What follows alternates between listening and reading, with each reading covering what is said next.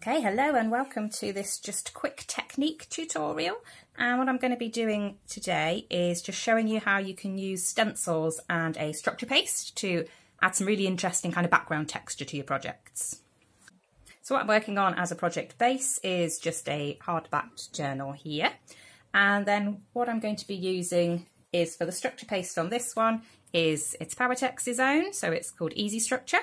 But there's loads of structure pastes out there that you'll find. You can even make your own. Um, you can mix things like sand into your fabric hardeners. And again, that will kind of thicken them up and um, make them into more of a paste that you could use this way. And that'll give you quite a nice sort of grainy texture to it as well. This one is super, super smooth. So that's why it's, it's really nice for going through stencils because it does go through very, very smoothly. I've got then a palette knife that I'm going to use to apply it with. And I've got some stencils here. So these I'm going to be using to make a kind of fossil themed journal. And what I tend to do is I apply these as sort of background texture and I'll put it over possibly quite a bit of the area. And then I'm going to add other things onto it. So I'm going to add my fabrics, add my embellishments and things like that. So a lot of it might end up getting covered up. But as I always say, if you've done any of my uh, workshops or anything like that, I say don't leave any blank flat spaces on your projects. So this just gives you the option to leave some bits that are a little bit sort of less textured, I suppose, but they still have some texture, so they're not, not a flat surface. So these come from, so this is another bit of a tip for you, these are actually from a larger stencil, so this is it's quite a big one, a 12 by 12 inch stencil, which is quite unwieldy and really quite hard to use when you keep it like that. And because they are all individual elements, it's not like it's a pattern that you're putting on as a whole thing. The easiest thing to do is just chop them up. Just get some scissors and cut them up into the individual pieces, then they're a lot easier to work with. So that's kind of tip one for working with your stencils. Okay, so another tip I've got just off screen that you can't quite see there is have a little tub of water available.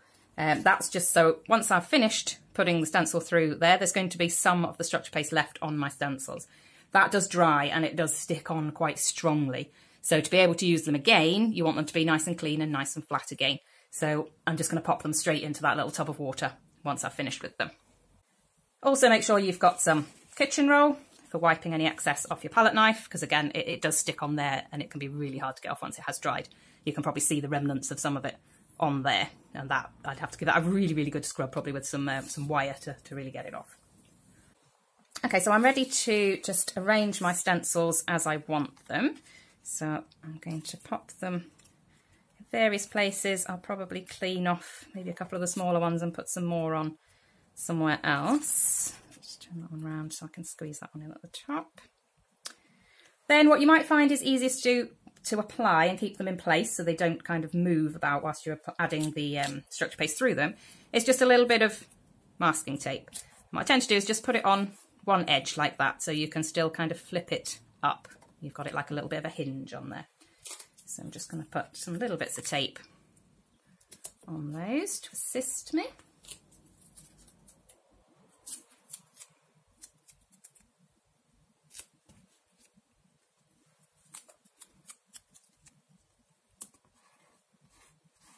Right, so now I'm ready to add the structure paste through.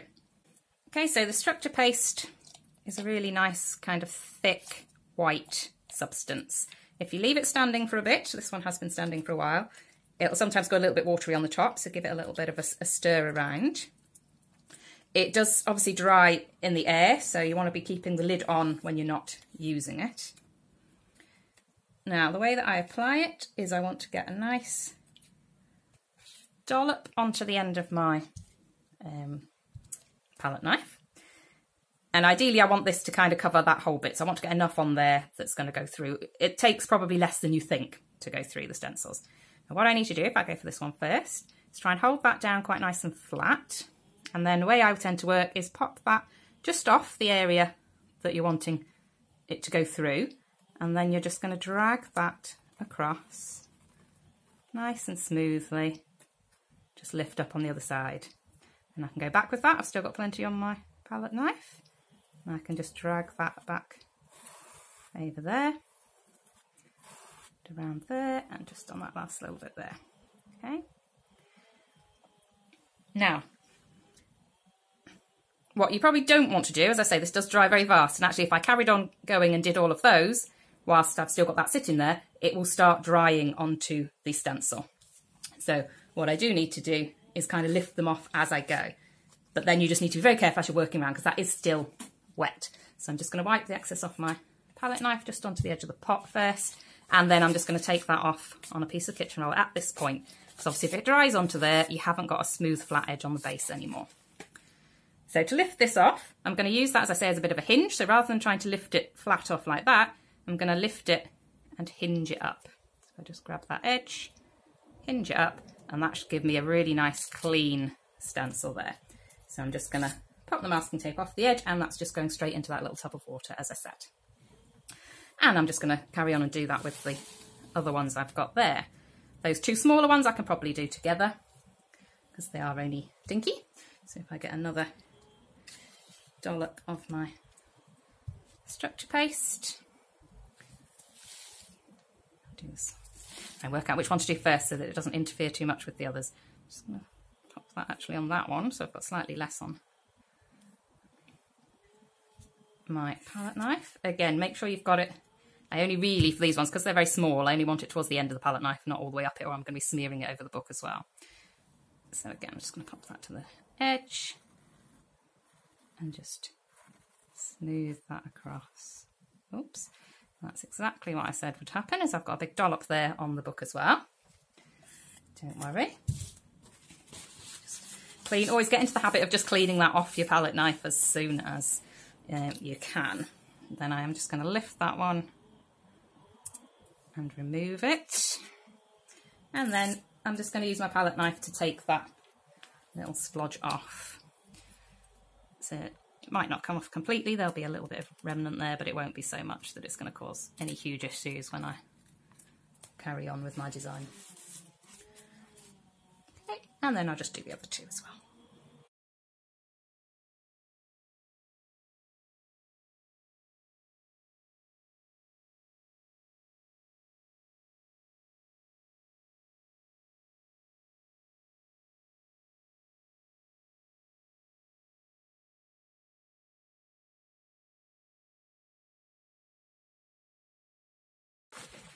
Okay, so the next kind of little tip when working with your stencils, just to kind of look after them, is you're obviously going to need to wash them. I want to use a couple of them again, so I need to clean them just before I can, because they're obviously, they're wet and they've got the, the structure paste kind of all over.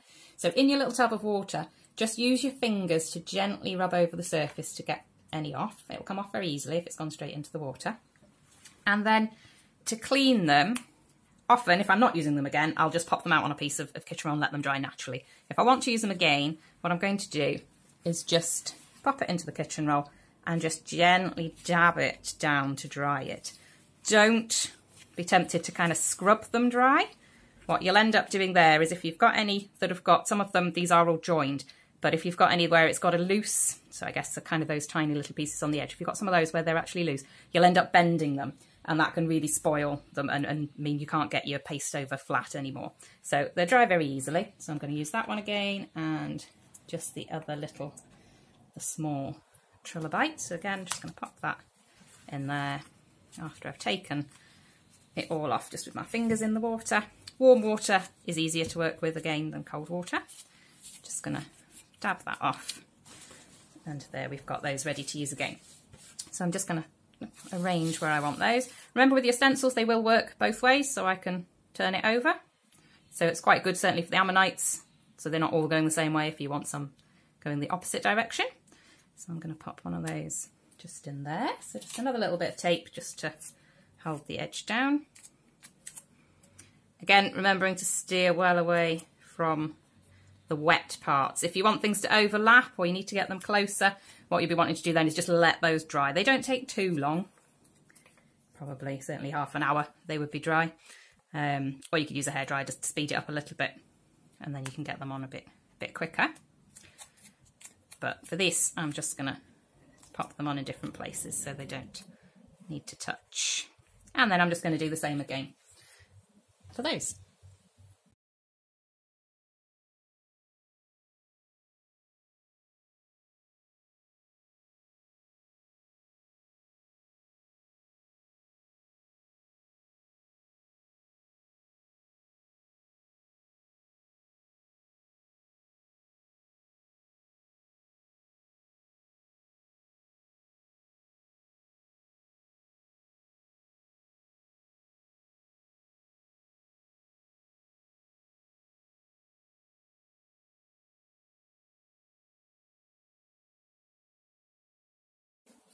Okay, so now I've got there some of my nice background texture. I'm just going to let that dry, as I say, for um, sort of 20 to 30 minutes, just let it dry naturally. By then it, it should have um, dried off completely and I'll be able to paint over the top. So what I'll be doing is just giving it a coat of the fabric hardener, just as a paint over the top of it, and then I can start working on it and I'll show you the finished product once I'm done. Okay, so as promised, there's my finished journal with my stenciled fossils on. So I used the grey fabric hardener for my base and I used some t-shirt fabric up here, some moulded fossils as well just to tie in with my stenciled fossils um, and some kind of stringy fabric as well just to kind of blend it all in together a little bit. And then you can see how they've highlighted really, really nicely, even though they are just quite a light texture on there, they don't stand up massively. Just with careful dry brushing over the top and highlighting, you can really make those pop out and give you some really interesting effects on surfaces.